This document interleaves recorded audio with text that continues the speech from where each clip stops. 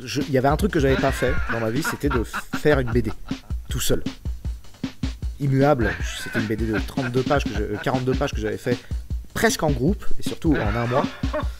Tony le YouTuber, c'est une bande dessinée que j'ai expérimenté pendant un mois tout seul, mais finalement Megan m'a aidé un peu sur les couleurs.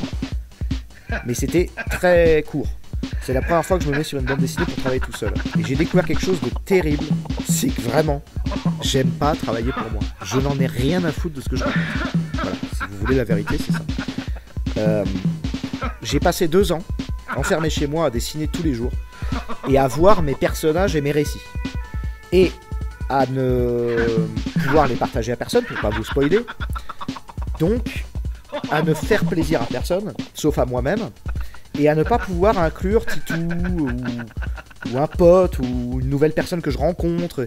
C'était un projet personnel pour moi que j'allais livrer comme une. On va pas prendre de métaphore pornographique, mais c'est quand même une espèce de branlette, quoi. hein.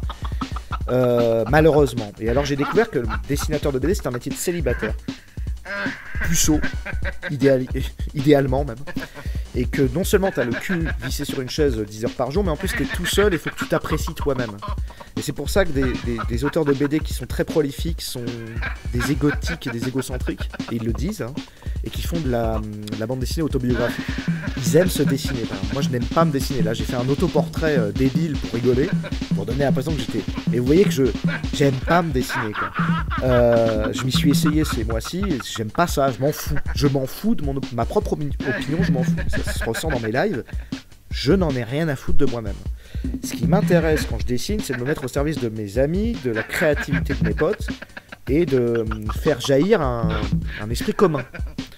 Et que ça ait un impact immédiat sur la psyché des gens ou que les gens soient joyeux en fait. Et bah c'est tout le contraire qui s'est passé avec Nathan Goulag. C'est-à-dire que je regardais mon personnage, j'étais face à mon truc, et euh, j'étais le seul juge de, de ce que je racontais, j'étais mon seul euh, thermomètre.